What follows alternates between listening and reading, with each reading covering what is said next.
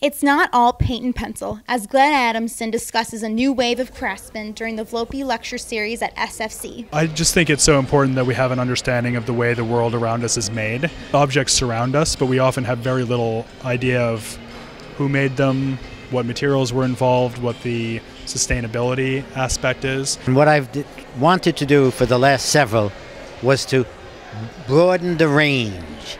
And now Glenn Adamson from the museum world and art world, I felt that that would just give the exposure to the students. He also spoke about one of the exciting features at the Museum of Art and Design. I think the Open Studio program that we have at MAD is really the heart of the institution. One artist uh, there all the time so people can come and meet somebody who's actually actively involved with ideas and processes. For more information, visit the museum's website at www.madmuseum.org.